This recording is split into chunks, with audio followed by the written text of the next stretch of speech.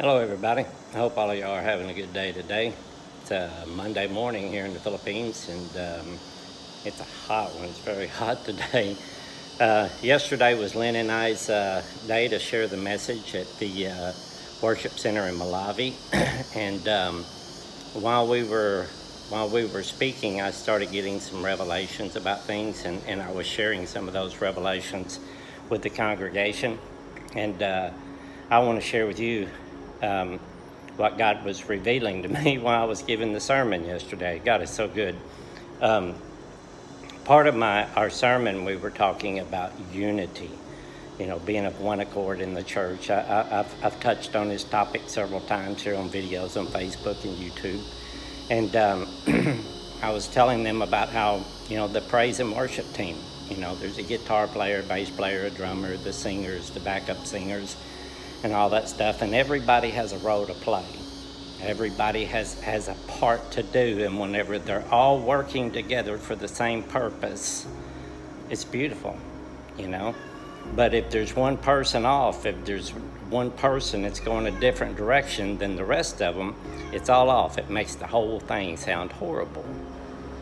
And I started using the analogy of a choir. You know, you have the bass, the tenors, the sopranos, the altos, then you have the people doing the solos. You know, everybody has their part to play, and whenever they're all singing in one accord, it's beautiful. You know, the angels are singing. You know, they're of one accord. And I was telling them how now, you know, there's the, the we are not of one accord. There's over 42,000 denominations of Christian churches today, all based off the Bible, and none of them are singing the same tune. None of them have the same language. So they're, they're not of accord. That everybody's fighting, you know, over who's right and who's wrong. You got people that sound speak the language of Baptist, people that speak the language of Lutheran, people that speak the, the language of Church of Christ, people that speak the language of Catholic. And it, it, it, God revealed to me, showed me that, you know, there was the Tower of Babel.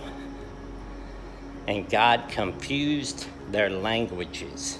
They couldn't communicate with each other and they couldn't they couldn't finish their task. They were trying to build a tower to reach heaven. They were trying to work their way to God. All this stuff goes back to, with works of your hands and works of the Spirit. God confused our language. It's like everybody was there reading from the Torah, going, okay, this is what we're going to do. We're going to do it here. We're going to do it here. They were trying to live by the letter.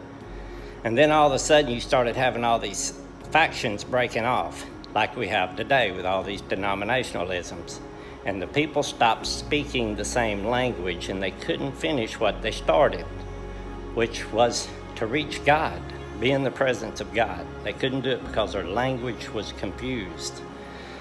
And so I was telling them, you know, I, I said, nowadays, whether you speak Chinese, Japanese, Russian, German, English, it doesn't matter if you're speaking love, we're all of one accord.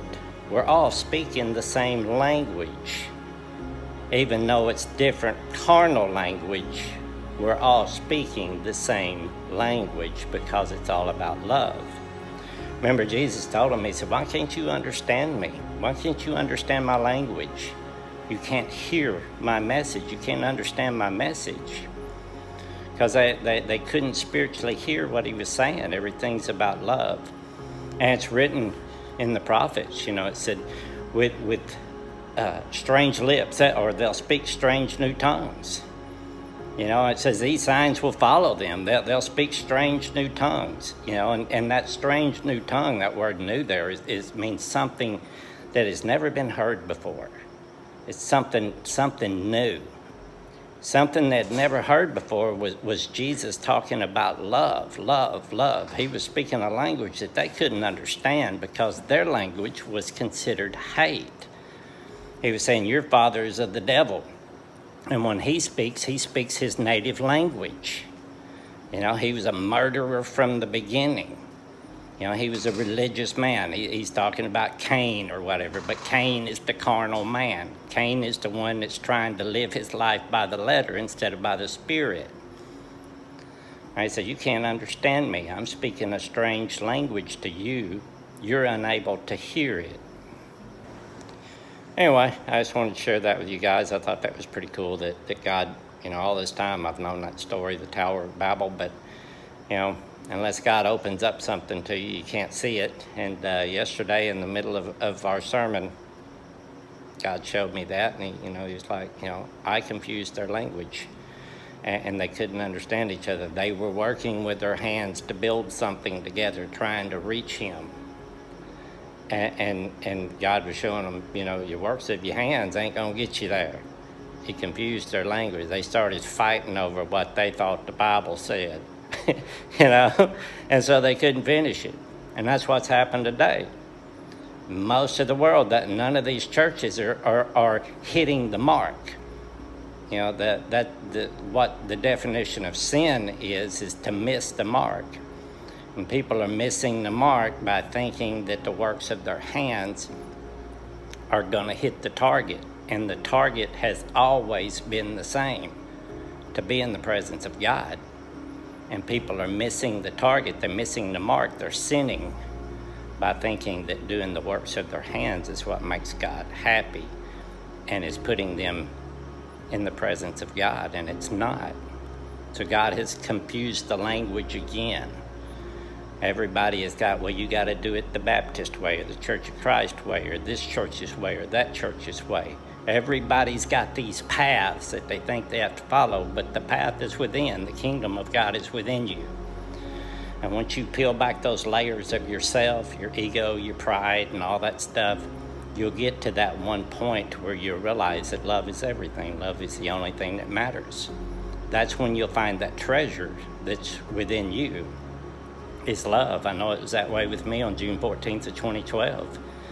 Once I found that treasure, love is a love that, that, that human words cannot do justice, cannot explain properly but it changes everything. It changed the person that I was. You can ask, there's lots of people out there that remember the old Billy, and uh, they seen what happened. They seen how I was transformed, and it's not by my doing. It was all from God. But I was given this strange new tongue that most people don't understand, and it's the language of love. Love conquers all. Love does no harm, and that, that's the, um, until the world starts and understands and the world starts speaking love again, whether or not they're speaking Chinese, Russian, German, or whatever, until the world starts speaking love in their own language, the world is never going to change. It's only going to get worse. Anyway, I wanted to share that with you guys. The Great Awakening is coming. There's going to be a great change come and the voice of God is going to be heard everywhere before you know it. Anyway, I love you all. God bless.